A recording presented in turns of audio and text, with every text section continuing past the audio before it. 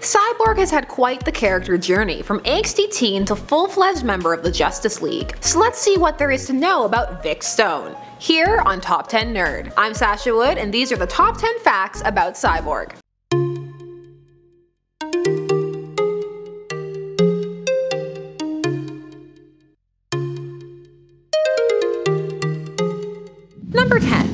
Cyborg, while initially reluctant, joined the Teen Titans because of the potential for fitting in that had been lacking since he was saved by his father and transformed into a cyborg. On this team, not only did he find acceptance, but people who looked up to him and a girlfriend. Number 9. Cyborg and Beast Boy have an iconic friendship. When these two were first introduced to each other, they seemed very much like opposites. Beast Boy's carefree, girl crazy, joke cracking attitude, with Cyborg's brash, stoic, and sometimes downright abrasive personality. However, over time this duo became a fan favorite, and remain depicted as besties to this day. Be it saving the world or arguing over burgers versus burritos, these two are sure to have more adventures. Number 8. Once leaving the Titans following the 80s and 90s runs, Cyborg became a mentor figure for new emerging Titans teams, of younger heroes, becoming a more mature character, reflecting his growth over the years. Perhaps it was this newfound strength of character that was part of what saw writers promote him to the top tier superhero team. Speaking of the Justice League brings us to number 7. In the 80s, Cyborg appeared in the Superpowers team Galactic Guardians and was voiced by Ernie Hudson,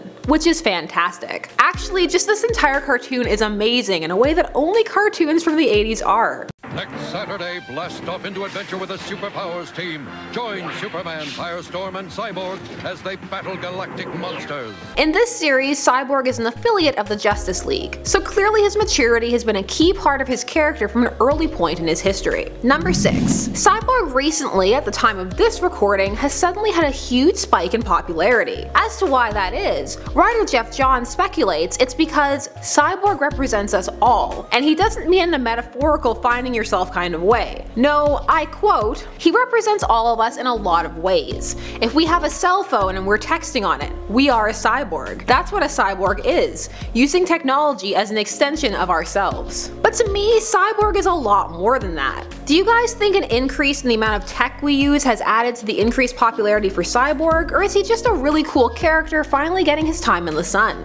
Let me know what you think. And that time got a boost at number 5. Cyborg is officially promoted to founding member of the Justice League during the New 52 reboot. That reset the DC universe, making it much younger and removing much of the legacy material. As a result, the Teen Titans, the team on which Victor Stone had initially appeared, did not as of yet exist. Instead, following his creation, Cyborg ends up in a battle with Darkseid along with Batman, Green Lantern, Superman, Flash, Wonder Woman, and Aquaman. Afterwards, he becomes one of the founding members. Number 4. Cyborg is the reason the Titans have a tower. His father, Silas Stone, constructed it for the team out of guilt over the suffering and negativity his son felt for his new cybernetic form. That's quite the apology present. Number 3. Cyborg has a special ability simply called the Grid. This is a program that he created with the help of Batman to ensure that he doesn't get distracted while on duty. As a cyborg, he is constantly receiving and assessing a huge influx of data. This program allows him to filter high priority data and assess what situations he needs to be dealing with first. Number 2. Despite all of his popularity, Cyborg got his first ever solo series in 2015, a series that has seen the title maintained to a new number 1 in Rebirth. Cyborg is also slated at the time of this recording to have a solo film released in 2020. And that of course brings us to number 1.